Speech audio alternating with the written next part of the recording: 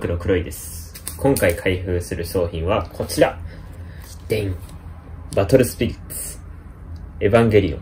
紡がれる思いを開封していきたいと思います。5個買っちゃった。それでは開いていきましょう。オープン。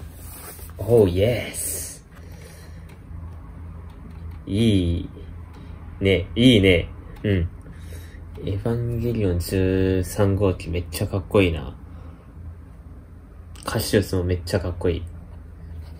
で、えー、構造。こいつは配置した時にデッキの上から3枚かな？オープンして、えー、こいつ以外のネルブを持つカード1枚と限度、優位を1枚手札に加えて残ったカードは破棄する。で、レベル2の効果が、単一同盟に自分の手札トラッシュにあるエヴァンゲリオン槍限度を1枚召喚配置できるって結構強えな。こいつカシウスも出せるな、多分。エヴァンゲリオン英語表記だから。で、次。こいつ欲しかったんだよ、使徒。第10の使徒、進行。フラッシュ。えー、相手のアタックステップで手札にあるこのカードは召喚できる。この効果で召喚するとき、えー、自分のトラッシュにあるカード名の異なる、えー、使徒を持つカード1枚につき、コストをマイナス1できるんで、最大6。1コスト召喚できるね。で、このスピリットをデッキに下に戻すことで、えー、手札トラッシュにある、手札トラッシュにあるって強くね？人を持つコスト8以上スピリットカードをコストを知らずに召喚できる。これあれだな。第10の人普通に手札トラッシュからコストを知らずに召喚できるやつやな。こいつ強え。デッキに入れなきゃ。で、次こいつ。エヴァンゲリオン0号機初号機。このスピリットは相手によって、えフィールドを離れるとき、自分の手札1枚破棄することでフィールドに残る。で、レベル3効果は、バトル終了時、相手のスピリット1体破壊するか、バースト1つで機体戻す。まあ、こいつは、あんま使うことはないかもしれんけど、綾波デッキに入れるか。で、次。えー、0、号機、回、2号機、消化、あ、重化か。ごめん、消化に見えた。重化第2形態、第1種、長名前。トラッシュにあるこのカードは相手のアタックステップ開始時に、えー、自分の綾波、巻波、美里があれば召喚できる。そうしたとき、えー、このターンの間、相手のスピリットすべての効果を防げない。間違えた。また相手のスピリットすべての効果を受けない効果を発揮させない。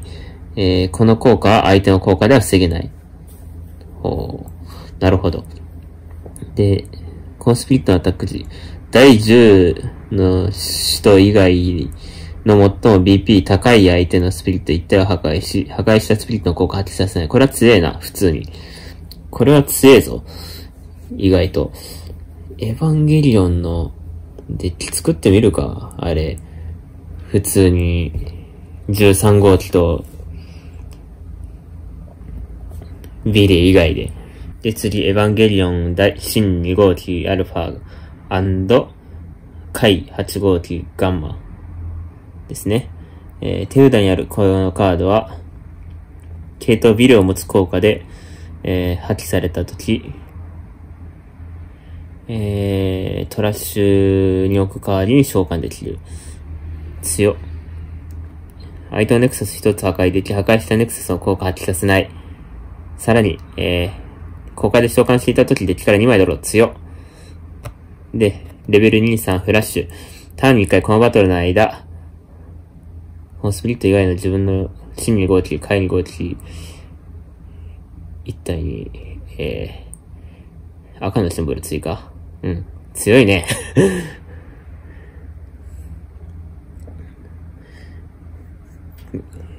うん、強すぎやろ、この効果。じゃあ次行くか。最後やな。エヴァンゲリオン、えー、新初号機第13号機。これ結構なかなか行かれた効果してたんな。えー、ターン1回、手札にあるこのカードはコスト7以上の相手のネクス、スピリット、ネクス、アルティメットがアタックしているとき、自分のブレイブネクスミラージュの怒りがあれば1コスしたらって召喚できる。で、レベル1、2、3、4、消滅破壊されたお互いのエヴァンゲリオン、エエヴァンゲリオンは、トラッシュに移動する代わりにゲームから除外される。で、レベル2、3、4の効果で、えー、このスピリットを破壊することで、ブレイブのコストを無視して、コスト7以下のアイトンスピリット、アルテントすべて破壊。あ、これはイかれてるな、なかなか。こいつはやべえぞ。強え。どれもなかなかいい効果持ってるわ。このカードたち。